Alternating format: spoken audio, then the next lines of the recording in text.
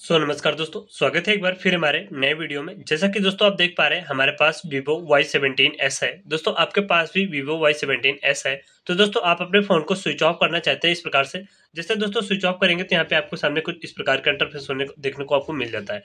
तो कैसे दोस्तों आप अपने फ़ोन में पावर बटन से आप अपने फ़ोन को स्विच ऑफ़ कर पाएँगे? तो सिंपल सा दोस्तों आपको करना क्या है? यहाँ पे पहले आप अपनी सेटिंग पे क्लिक करेंगे। जैसे दोस्तों आप अपनी सेटिंग पे क्लिक करेंगे तो यहाँ पे आपको थोड़ा सा स्क्रॉल करना है। जैसे आप थोड़ा सा स्क्रॉल करेंगे तो यहाँ पे आपको देखने मिलेगा शॉर्टकट एंड एसेसबिलिटी तो आपको शॉर्टकट एंड एसेसबिलिटी पे क्लिक करना है।